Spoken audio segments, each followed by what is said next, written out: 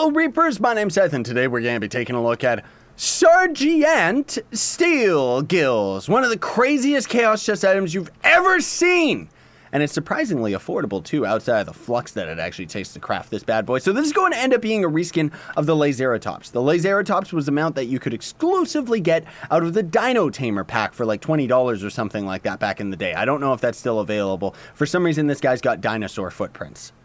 That's really weird. In either case, though, what does it mean when I say it's actually a reskin? Well, the Laceratops was one of the only mounts in the game that actually shot a freaking laser from its head was really, really cool when it was originally added to the game, the Laceratops. I mean, not this guy. This guy's still beautiful, but uh, the Laceratops was actually very powerful in the way that it scaled off of your actual magic damage, and it was awesome, and then they ended up nerfing it and making it useless, which I understand why, but still, it kind of just makes the purpose of actually shooting absolutely useless. However, block damage is still pretty good as far as this laser's damage is concerned. Uh, the laser's location is a little bit weird considering where we're actually aiming on our screen But either way, I remember when this mod was added, like, or uh, added to the game. Yeah, added to the game like a million zillion years ago. What happened here?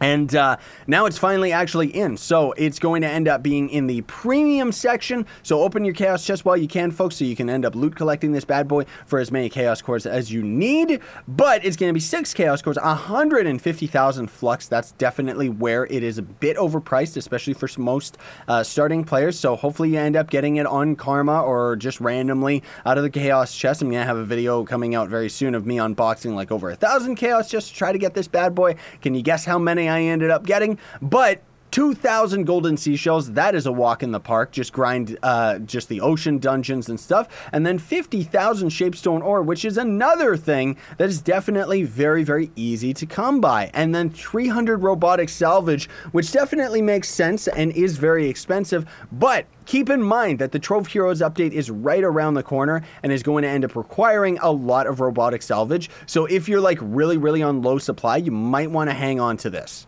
Okay? You might want to hang on to your robotic salvage. But in either case, thanks for watching, everybody. Very much appreciate it. Sayonara and stay epic.